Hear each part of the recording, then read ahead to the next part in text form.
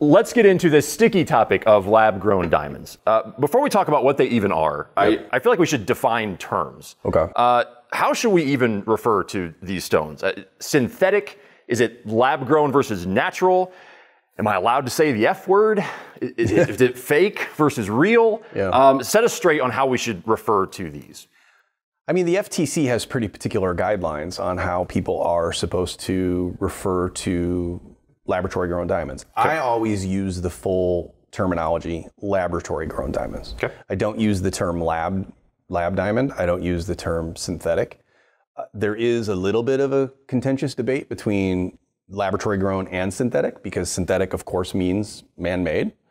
Uh, the FTC rules, though, that that term is a little confusing to the consumer, and probably would agree with that. I think most people understand that it means not natural. Okay. And you can use the term natural as it applies to diamonds that come out of the ground. Right. right? So to me, the term to use always is laboratory grown diamond. I feel like it's very specific. I feel like it, people understand what that means. Mm-hmm. It means it was created in, a- in, in a lab in a machine that, that makes other diamonds. Uh, so that's usually the term that I that, that I and my team would hear would use here at the store as Okay. to avoid confusion at the counter. Okay.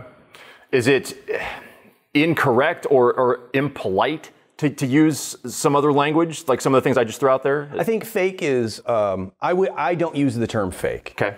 And it's I have fairly specific views on laboratory grown diamonds. I think that you know that. Um, fake is a little bit insulting Mm-hmm. Sure. to what it is because there are other other gemstones. I mean, it's a real thing. You can hold it. I- you know. yeah, fake, you know, a unicorn is fake Right. probably, but you know, you can. It is a tangible. It's not imaginary, right? that you can buy and hold, and, and it is chemically and physically the same as a diamond. Now, where I where I We'll get into that, yeah. yeah, uh, we'll, we'll create a separation there later, but fake is not accurate because it is a diamond. You cannot argue. And even somebody who has a specific stance on it as I do will not argue it is a diamond. The thing that, that worries me about them is, is, a, is, a, is a confusion on part of, of the customer where I want to make sure that they truly understand what it is they're buying and why.